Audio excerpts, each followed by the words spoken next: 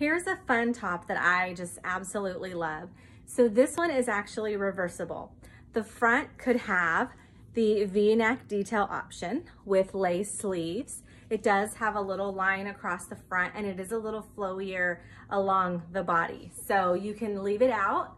You can always do the front tuck with a cute little belt or you can, hold on one second. I'm gonna flip this around for you so that you can see what it looks like the other way around. Super cute, so don't lose me. Okay. Ta-da! So if you want something a little bit more work appropriate, you could probably even just flip it around. And then the back has the pretty lace detail along the back.